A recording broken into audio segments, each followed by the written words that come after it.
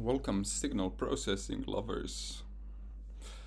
Um hope you're fine, doing well, not getting horribly bored of this um, format. Uh, today we're gonna start discussing filters, uh, which is a huge chapter. Essentially, we're gonna scratch the surface. However, we're gonna scratch it from multiple perspectives, which is hopefully useful. And uh, there's tons to cover, so I'll get straight to it. Uh, we're gonna first look at the signal processing aspect, look at a few numbers like that. Uh, and we're going to first discuss essentially signal filters. Um, and then I will uh, broaden the discussion as well. So, in terms of signals, uh, they could be analog electronic signals or uh, digital electronic signals. Um, and and the principles there are quite similar. Evidently, with electronics, uh, you're using electric components. Uh, with uh, digital signals, we're using a certain set of mathematical operations to filter. So the question is, what does it do? Well, it attenuates typically certain frequency regions. Uh, it can ring as well. Filters can ring, so they can actually alter the time um, as well. In that, if you ping a filter, you give it a little click, it might actually give you a fairly long signal uh, as a response. Um, so we'll discuss that in more detail. Um, the interesting thing is potentially unexpected uh, or not necessarily intuitive that the way we uh, get to change anything about the frequency spectrum of a signal will have to do with introducing delays, mixing the delayed signals in with the original one. Um, and that is the big chapter of uh, uh, basic filtering. However, there are other ways as well, slightly more advanced. You can actually produce filters through spectral analysis and spectral resynthesis so you can be more precise in certain ways. You can produce brick wall filters, minimum phase filters, and other more advanced concepts that I mentioned just if you're interested, you might want to look them up. So brief recollection of the delays here. Fairly straightforward. So if we have a signal, digital signal, uh, consists of multiple values in this case even further simplified to just integer values, uh, you see what the delay actually does. It reproduces the exact same signal, but the values are shifted in time. So if you do that, the spectral content is unaltered. It will have the exact same spectral characteristic.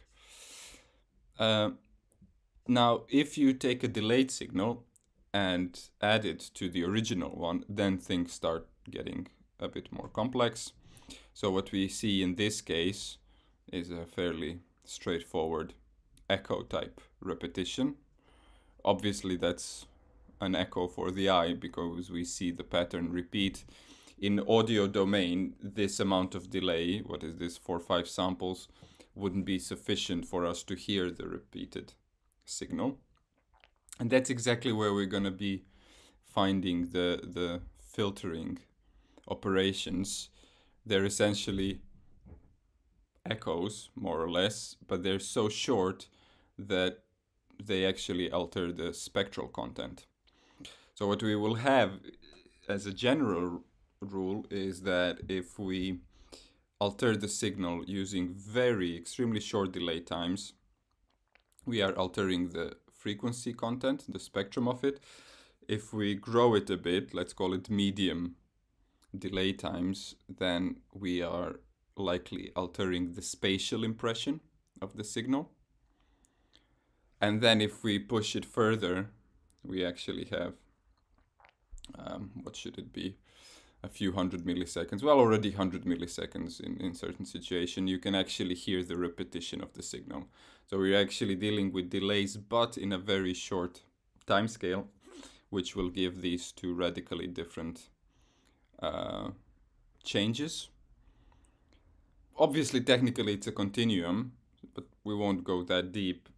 And also, we won't really discuss the spatial character, how we can alter that, but actually deal with the shortest delay times. We're going to deal with filtering.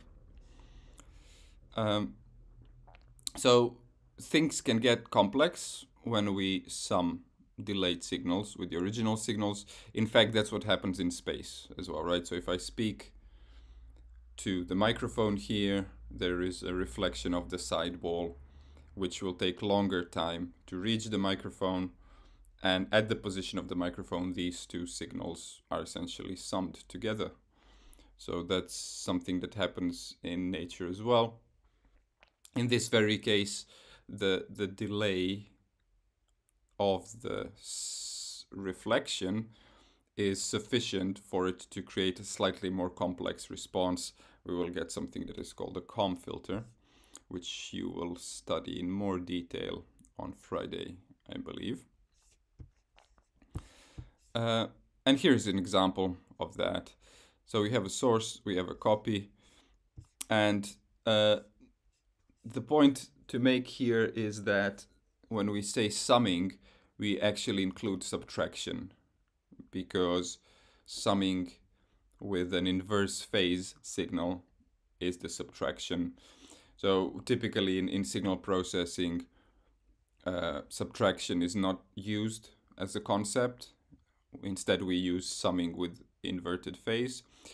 Similarly to the way that we don't really use uh, division very often most likely you will encounter multiplication with the reciprocal value.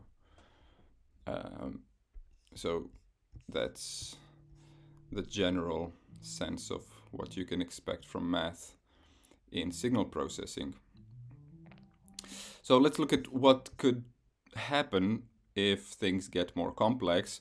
So here we have a summing without the delay.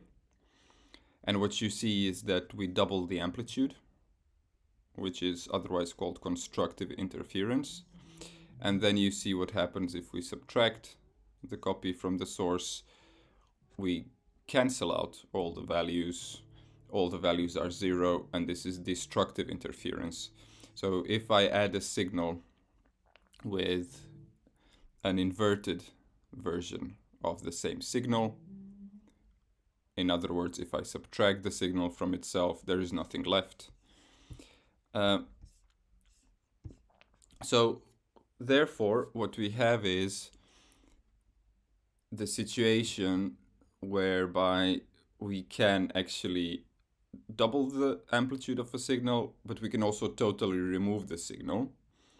And this is the situation when, when we don't even have a delay in this recombination.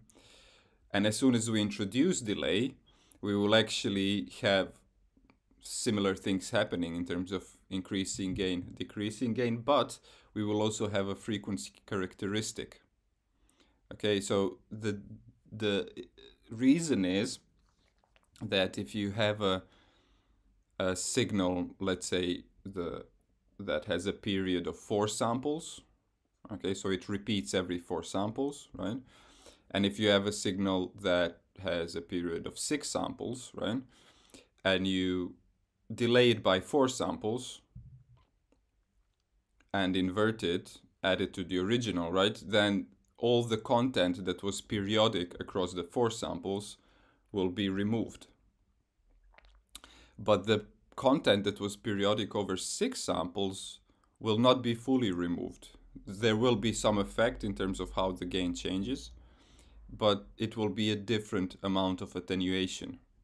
Okay, so hopefully this gives you an idea how once you delay a signal, you actually, what you're doing is that different frequencies are delayed by a different amount of phase offset. Okay, so here comes the difference, which is crucial between the phase offset and the delay. So if I talk about phase offset, I'm actually linking the delay to the frequency right? So if I, let's say I offset the phase by pi or uh, 180 degrees, right? That would typically be your inversion phase, phase inversion. If I offset a four sample period signal by half period, that's two samples. But if I phase offset a six sample period signal by uh, half period, then that's three samples. So you see a phase offset is a frequency related delay. So what happens then is if I have a fixed time delay of a complex signal, then every frequency will be offset by a different phase amount. And therefore, where I start adding it back to itself, then different frequencies will cancel each other out in different ways, different amounts, or just attenuate, or indeed increase the gain. Okay, so that's the basic functioning principle, the, the thing to kind of intuitively grasp. Why does delay, why does summing the signal with its delayed version cause different frequency uh, anomalies? Or anomalies in different frequency ranges, different anomalies. Okay, so here is a demonstration of a very basic set of signals, numbers, so we have a source, we have a copy in red. And in this case, what you see is that the first hump has survived. And that's obviously because we've defined the signal as starting at zero and uh, delayed that. But in fact, if you consider this a continuous periodic signal, then the first hump wouldn't survive either. So that's your basic destructive interference right there. Okay, now we thus understand that delaying by different amounts, adding back to the original, will produce filtering. And on top of that, uh, in order to get to structures that are actually useful as filters, what we typically need, we need to change the gain of these delayed versions. So here's an example, a basic signal. We multiply it by half, and that's what we get. So once we add these two things in, we have a delay and we have a multiplier, what we typically call a coefficient. Then we starting to get to this basic structure of filters in signal processing. This, by the way, is called a difference equation. So the bottom equation there, what you can read is the, the yt, so the output at time t, will be the minus 0.3 times the input, x is always the input at time t, plus minus 0.5 the input, the x at two samples before, t minus 2. Okay, so here you see a combination of uh, an original, the input signal, that's the xt, and the delayed signal, that's the xt minus 2. They're being summed together, and they have different multipliers.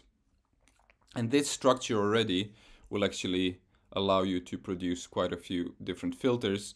It's worth saying that uh, calculating the frequency characteristic of such an equation is moderately difficult. But what's even more difficult is having a frequency response target and then calculate the, the, the filter coefficients. And this is a domain of engineering called filter design, which is rather complex. No way we'll we'll get there, but understanding the basis, the the the uh, the building blocks of filters is is really crucial because we encounter these blocks uh, elsewhere, and it's important that we uh, intuitively grasp what the effect may be, what it is likely to be. Okay, so here it is, a difference equation which is a bit more complex. So we have the original signal and we have four delayed versions. Each one is delayed by a further sample. And this is typically what you would call a fourth order filter. So the amount of uh, previous samples that you take into account, that you use in order to um, calculate your uh, final signal will be the order of the filter and will actually specify how precise or how steep the frequency response of the filter will be. Maybe you have heard of uh, speaker crossovers. So now back to the electric variant of the filter. It's a similar thing. The amount of components, which are typically capacitors and coils, will determine the order of the filter and thereby will determine the slope. Uh, so the the degree to which uh, the attenuation kicks in. We'll talk about this in a second. Okay, so essentially, if we have these coefficients fixed, we have this delay network, a lot of delays, a summing uh, mixer at the end, uh, then no matter when we send the signal into this network, it will do the same thing. It will have the same frequency response, the same phase response, and we therefore conclude that it is time invariant, if you remember from week three. Furthermore, because every increase at the input will yield a proportional increase uh, at the output, this is a linear system. So filters are linear time invariant systems. So what we've looked at so far is adding previous signals, uh, sorry, adding delayed signals to the current signals or previous samples to current samples. Um, and that's half of the story. The other half of the story is that we are adding the previous output samples. So we can actually create a feedback loop around these tiny delays. And then we get feedback delay networks, or in the terms of filtering, we get IIR's infinite impulse response filters. So the thing to know there is if you see such an equation is that again y is the output so yt is the current output sample and in this case it equals the current input sample the xt plus the yt minus 2 so 2 uh, the the output delayed by two samples. So the second previous output sample, um, which indeed can be depicted. You will see a sketch of this as a feedback, which means that things can blow up uh, if the gain coefficient is such. Um, okay. Uh, here's a bit more reading about the DSP side of things. Um, very exciting, potentially. But let's now turn the discussion uh, to consider another perspective, slightly more practical, and consider the fact that we have filtering in our acoustic environment happening all the time. So what I've just mentioned is the reflection of a wall, which causes comb filtering. But actually, we can also consider how different materials will filter the sound differently by attenuating different frequencies with different levels. Uh, we can consider that the shape of materials can actually have a significant impact on different frequency uh, ranges.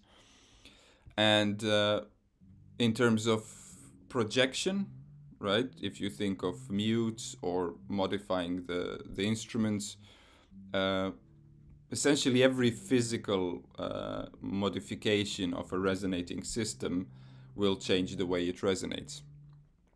Um, and every system resonates to a certain extent. So what you can consider is that everything is a filter.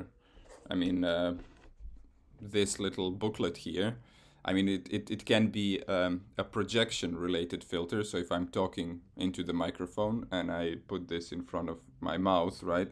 It is likely that the high frequencies are attenuated. I can also use it as a physical filter, right? So not just the propagation of sound in air, but I can actually uh, shake it. I can put a, uh, an, um, a transducer on it, use it as a speaker, which would again, in a way, filter the signal. Certain frequencies will propagate, will come through the system easier than others. So it it is worth worth opening up the understanding of, of how filters um, actually surround us constantly. Um, okay, so uh, a lot of uh, resonators in acoustic instruments you can actually call filters. Okay, so as I mentioned, also an electronic filter can ping, right? So if you deliver an impulse, it can actually ring on, and this still allows it to be linear time invariant system, by the way, because if you deliver the ping at a different time, it will do the same thing.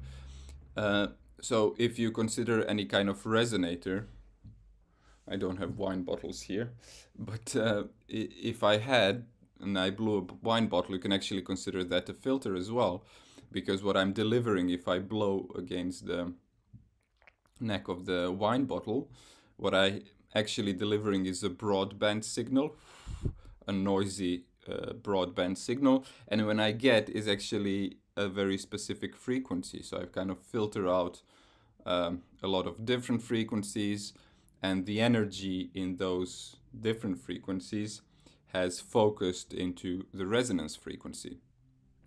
So it is also worth adding how, uh, in order to be precise, you shouldn't say that a passive system amplifies stuff. Okay, so even though if I blow like this, compared to blowing into the wine bottle, I, you will hear a louder sound. From a perspective, you know, layman's position, you would say, well, it am- amplifies my blowing. But if you consider the bottle, it's a passive system. There is no way it will introduce more energy into the environment. So it is just shaping that energy. So uh, typically acoustical filtering, when we talk about this, we're considering passive systems that change the frequency spectrum like that. Um, okay. Uh, human voice production is a really interesting example of variable filtering. So the case is that my vocal folds actually produce a buzz with the changing pitch and the whole detail, the whole articulation uh, that I manage when I speak has to do with uh, filtering through the uh, through the cavities essentially. So nasal cavity and and also my mouth as a cavity, they will change the frequency content. Uh, so evidently, if I talk with my nose shut, you hear that there is a notch filter. Essentially, some frequencies are excluded uh, some frequencies don't resonate the way they normally do. And if I change the shape of my mouth, I can't quite readily shape. I can probably change the shape of my nose a bit as well. I'll avoid trying that right now. But very obviously, if I produce a fixed pitch, I can produce all the vowel sounds essentially just by changing the shape of my mouth, which is a filtering process. And it will have multiple peaks that we call um, formants. So you can study that uh, if you're interested. But we'll just get on with uh, the filtering. Um, okay. Um, few terms that you might want to make sure you you uh, use appropriately and indeed understand well once you read them. Um, are damping, muting, and resonance. I'll let you uh, attend to these. Uh, so here are here is the example of uh, a magnitude spectrum, which is the accurate term for this spectral display, uh, where we see the frequency content of a signal. Typically, you would have amplitude or magnitude uh, displayed vertically and you would have the frequency displayed horizontally with frequencies increasing to the right. Uh, and this is a spectrum of a trumpet tone where you see how harmonics are very clear and how they actually have a different uh, amplitude and you can actually trace the peaks to find what we call the spectral envelope. Okay, so other than time-related envelopes, which you probably are aware of, we also have the term spectral envelope, which has to do with the overall shape of the spectrum. And what you will find, well, trumpet is not a great example here because uh, there is not much uh, in terms of uh, resonator added to the to the instrument because it's essentially one big excitation mechanism. You could say that the length of the tubing is a resonator, uh, but in fact, what I'm getting at is that the resonator is variable and is part of the excitation system compared to a guitar, for example, which has a body, an acoustic guitar, which is fixed. It doesn't change with the pitch of the sound. So what I'm getting at here is that if you have a fixed resonator, it will actually impose a very similar spectral envelope on the excitation signal.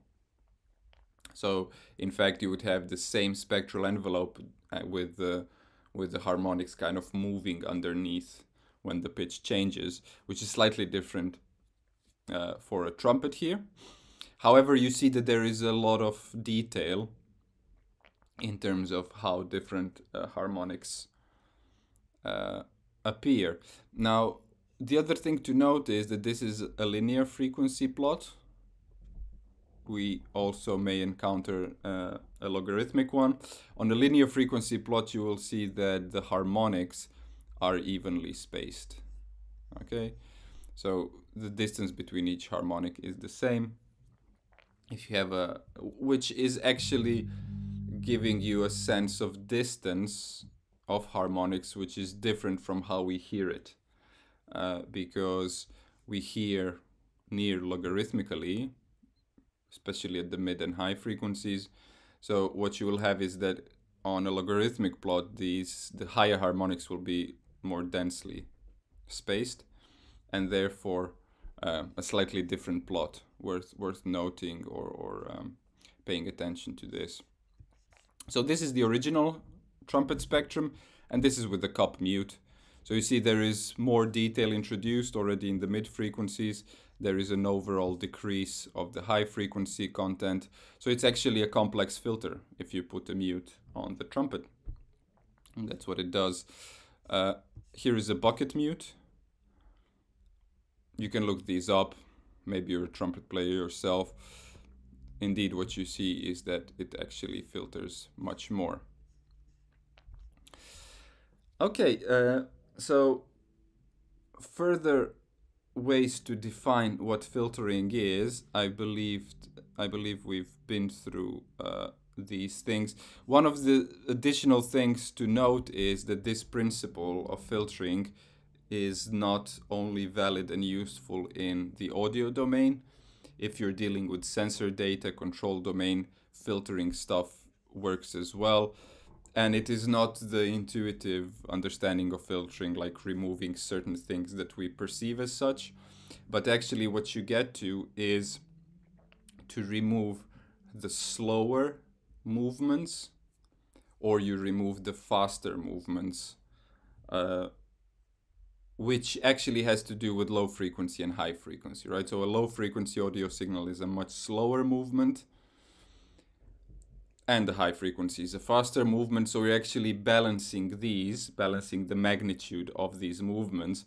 So with sensor data, for example, if you have a lot of uh, high frequency uh, noise, for example, you can actually take a low pass filter and you will make the signal much smoother. Okay.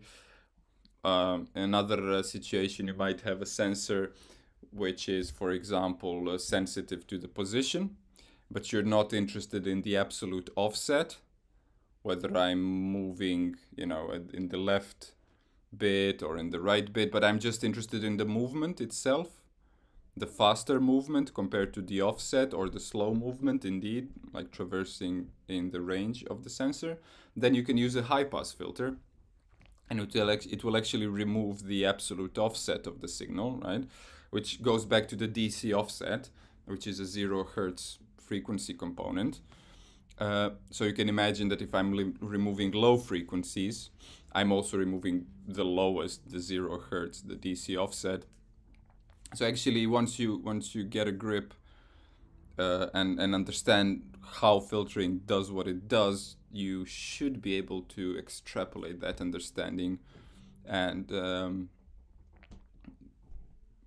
project, uh, discover what these systems might do for different types of signals, not necessarily audio signals.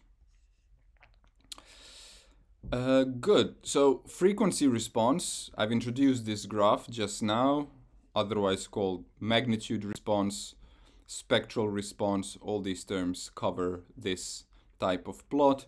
And here's a very simple version. We have a gain stage, just multiplying the signal with a fixed value. And what you get is that there is no spectral detail in the response. but there is just the offset. So the gain is changing. So practically a gain stage will not perform filtering. Now, once you get to a system that does filter, you can look at the effect in frequency domain, which is the top part. So we have a few frequency components.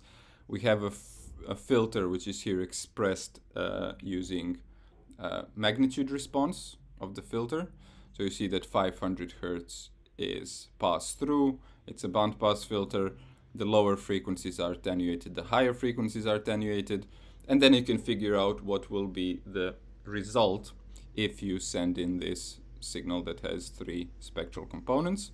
And you can also look at the time domain, in which case it is not quite apparent what has happened to the signal. You see that the waveform has changed, but if you really pay good attention, you will see that the the the balance of the uh, faster and slower fluctuations has changed.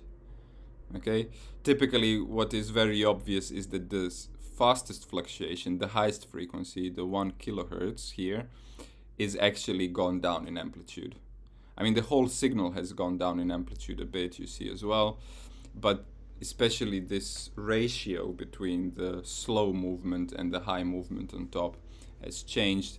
And it also shows you how it is difficult to appreciate what has happened to the signal if you look at the uh, waveform. Therefore, we look at the spectrum most often. Okay, so let's discuss the most basic uh, filters here. Uh, you might have studied this uh, with synthesis, but I understand it should be worthwhile uh, repeating some of this stuff. Low pass filter, LPF, what we have is low frequency passes, high frequencies are attenuated.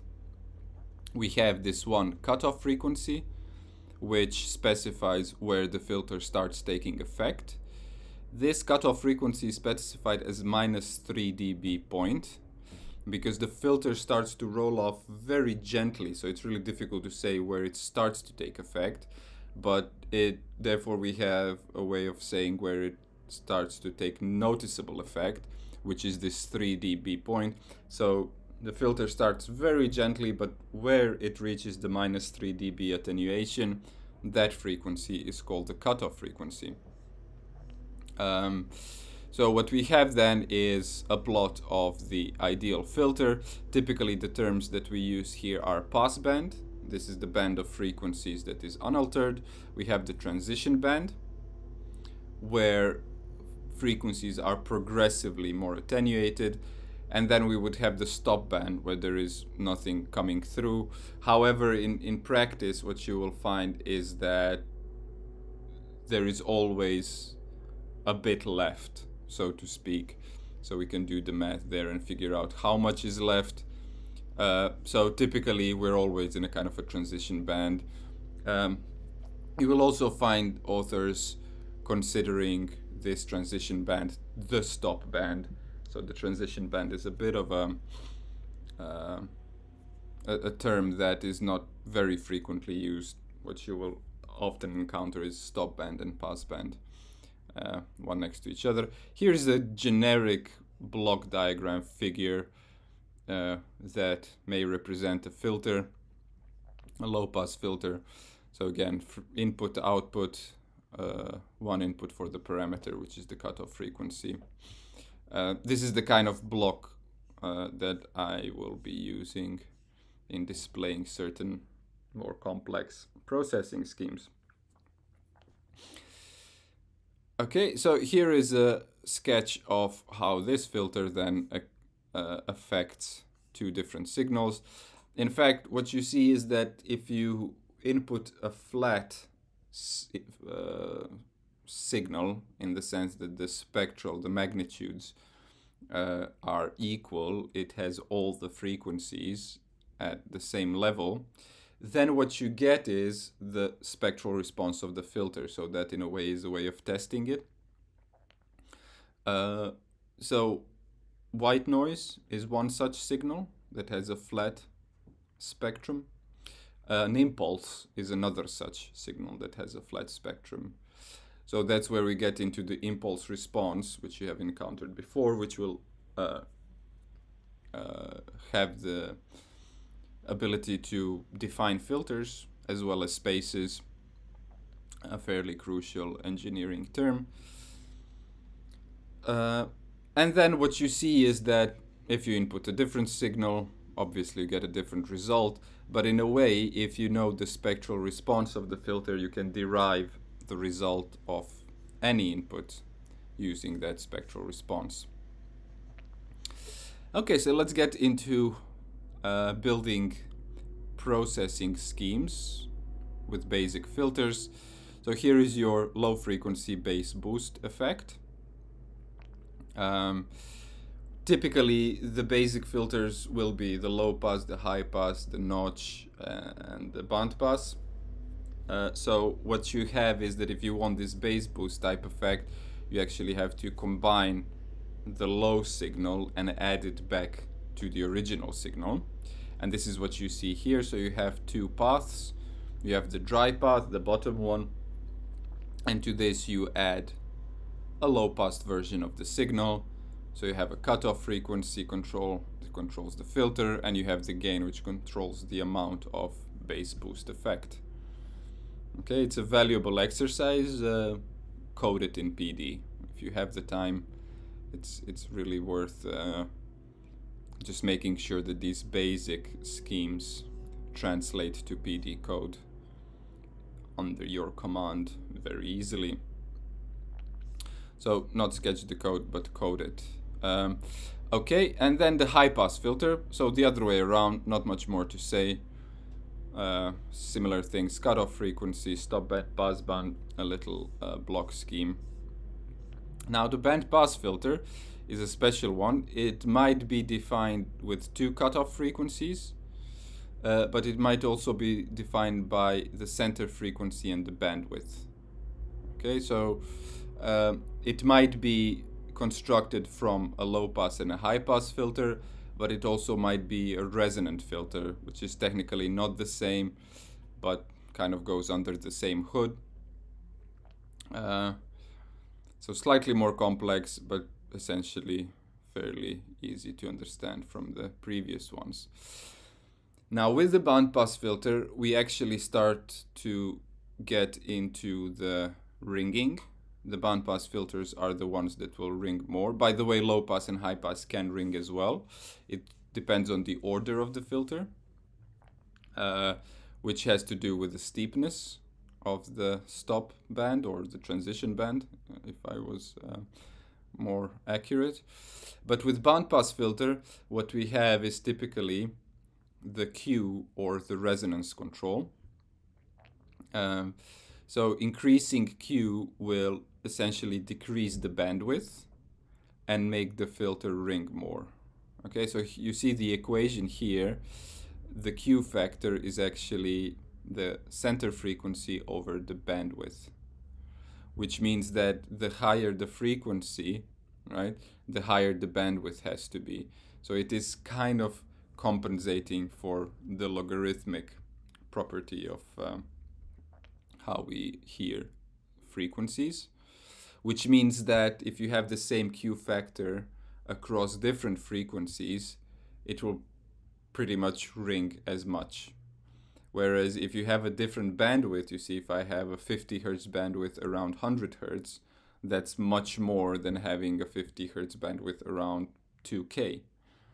Okay, so the bandwidth itself, if it's expressed as a difference of the higher cutoff and the lower cutoff, is actually somewhat deceiving in terms of how much ringing you can expect.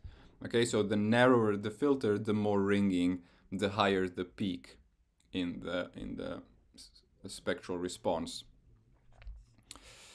Uh, okay, so that's your Q value. You've probably encountered it before.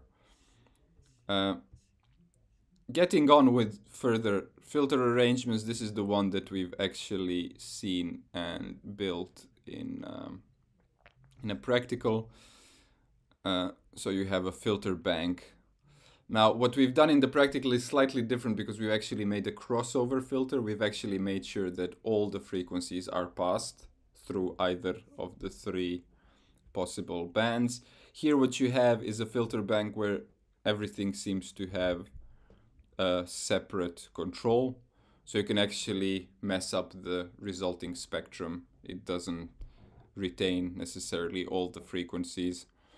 Um, but it can be slightly more useful. Typically when you have all these parameters available, the frequency, the Q factor, and the gain, evidently, then you call this a full parametric uh, filter or EQ. Um, parametric would be with just the frequency, um, although depending on the source this may vary. Okay, so the opposite of the bandpass is the band reject or notch filter. Nothing much to add here. Typically what you would expect based on your current understanding. So here is the combination of low pass and high pass in series. What you expect if the frequencies are spaced such. There may be a full pass band between the two filters. Evidently, if the cutoffs are arranged inversely, then you might not end up with no signal at all because they come in series. What one filter filters out, the other one doesn't have available already. Okay, so in combination, they may actually filter out everything. And it's useful to see how this will be different from putting such filters in parallel. Okay, uh, which is this arrangement here. Just consider this. I believe it is straightforward and intuitive. Okay, so now we've went into the more practical aspects of filtering, seeing what types we have available in terms of the basic filters. in the practical, I spent some time actually um, saying things about uh, shelving filters, which are typically built out of these basic low pass, high pass type filters. So let's go back now a bit to the to the DSP side of things and actually look at how these filters are also expressed in signal processing block diagrams, uh, which is crucial because you've seen how we can actually put a filter, which is kind of a black box filter, does what it does as a part of our processing chain. But that very filter is actually a similar thing in that it is just a processing chain so this kind of encapsulation is very useful because you don't necessarily need to see the insides of the filter. But if you manage to connect these domains, you really go a step further because you start to understand how certain basic arrangement of signal processing blocks may be filters in themselves. Okay, so you can actually have a signal processing diagram which does not specify where the filter is, but a certain part of it is actually doing the filtering. Or indeed, if you have a certain arrangement of uh, processing blocks, some of which are delays, if you understand this topic well, you will be able to identify where there may be filtering which was unexpected or even unintended. Okay, so here is a block diagram of your most basic filter. So the kind of equations that you've seen before. Uh, whereby we have the y, the output signal, the x, the input signal, and then the x with the n minus 1 or t minus 1 uh, or minus another value which uh, signifies the delayed signal. Uh, so in signal processing textbooks you will often find z to the power of minus value to denote a delay and the exponent, the minus value, will tell you the amount of samples that the signal is delayed by. So very often you may in, um, um, encounter this z to the power minus 1, which is a single sample delay. And by the way, the basic low-pass filters, the first order low-pass filters, high-pass filters, are all built with this single sample delay. So this is a network where we are essentially adding the previous sample to the current one, nothing else. In this case, I don't even have gains for the different signals. We're just adding the previous value to the current one, the previous sample to the current one. And what we get, believe it or not, is actually we already get a low pass filter. So with this situation, you will actually be filtering out the higher frequencies. Why is that? Well, you can kind of think of it if the frequency is really high, this very small amount of delay may already introduce destructive interference. For a low frequency, this very small amount of delay, and evidently adding the delayed signal to the original, will not really do anything because the signal takes much longer to actually go positive and negative, right?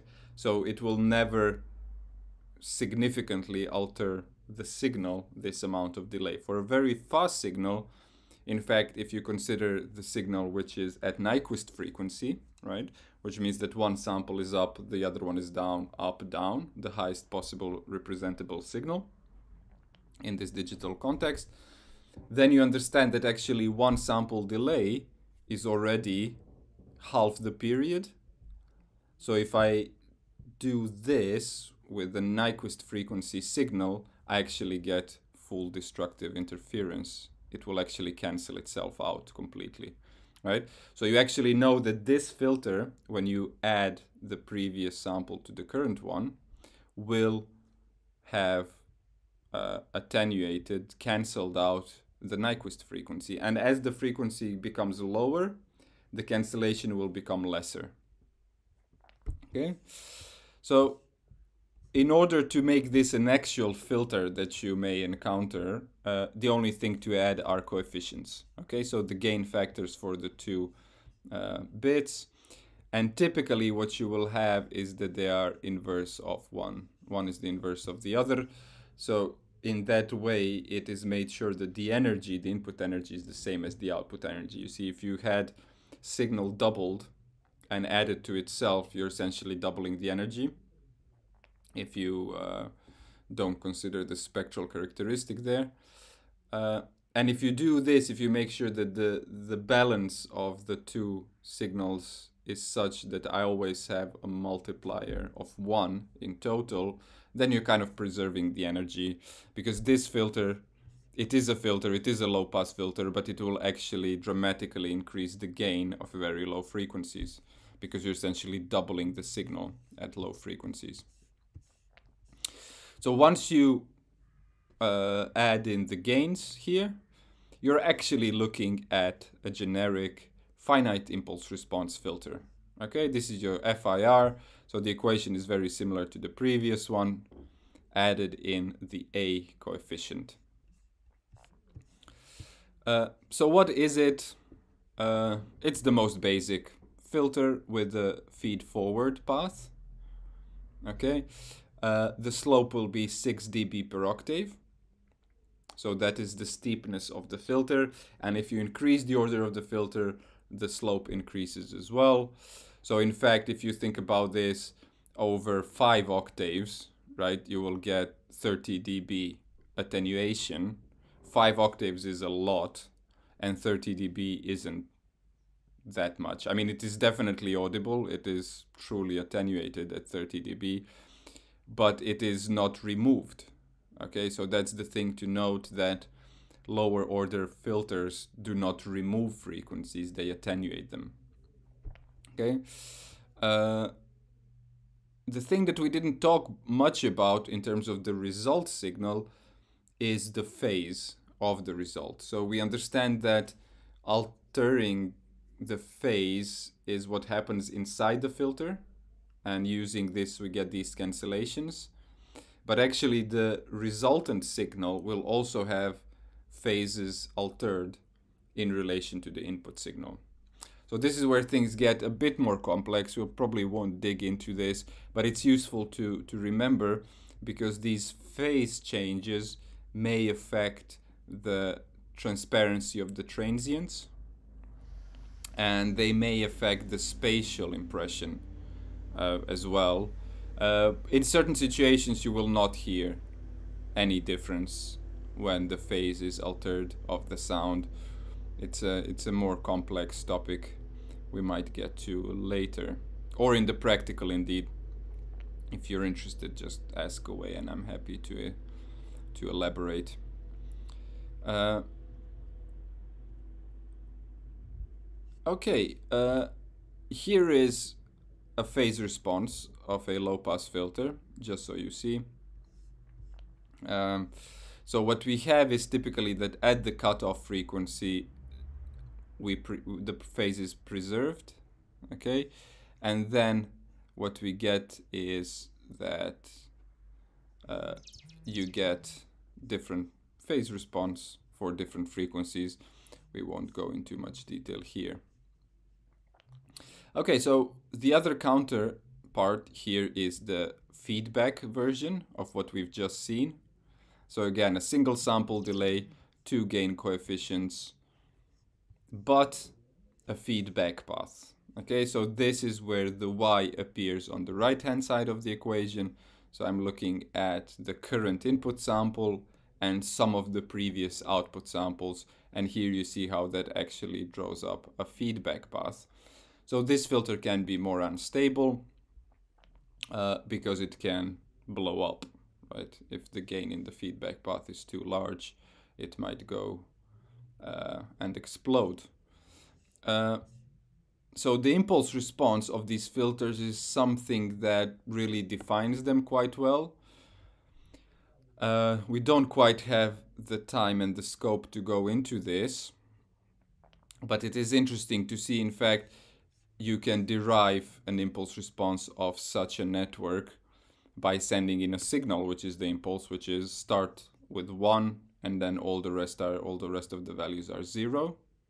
So what you will see with this network is that it has an infinite impulse response, uh, which means that if you send in a one, it will keep feeding back. It might reduce in amplitude, so it might decay away, but unless you multiply with a zero, you always get a, a non-zero result from multiplication. So theoretically, it will never die out. In a digital system with a finite bit depth, you will get a number which is sufficiently small to be uh, truncated to zero. But theoretically, such a feedback network will have an infinite impulse response. It will never go to zero. Okay, that's why we call it that. Uh, and you can figure that out. I mean, in fact, you will get this exponential decay from this type of network. Whereas with a finite impulse response filter, the one here, what you will have in the impulse response, you'll have the original uh, value come through and then the next sample will be likely attenuated version of that original value and then it's dead already then it's just zeros. Okay so this kind of impulse response understanding um, is something I invite you to research. Okay uh, here's an impulse. You can actually uh, work it into your filters and uh, see what happens. So to round it off, uh, we've talked about these basic filters, which work typically with a single sample delay. Uh, we didn't quite discuss the biquad filter, which is a second order filter. Uh, and then you will study also the comb filters, which could have a very similarly simple scheme where you have a delayed signal and the original signal, but what you will have is a longer delay time. Uh, so you will study that. Then resonant filters. I mean, essentially what you have is the opportunity to design a whole lot of different uh, filtering uh, structures. This kind of single sample delay based one is the starting point and probably uh, sufficient for our research into the signal processing and uh, hopefully allows us to know what to expect from certain effects uh, altogether. Now we would have a set of filtering effects. Now we're talking about uh, more complex structures whereby you would be changing the parameters. Okay, so you would have a kind of a wah-wah when the filter cutoff changes, things that are called auto filters, similar things uh, in which case you might actually be using the amplitude of the input signal to change the cutoff frequency. And this actually opens up a whole can of worms, a really exciting set of things you might want to explore and study, which are called adaptive effects. So typically you have a class of effects which are fairly static. You tune the parameters or indeed you add modulators to control the parameters.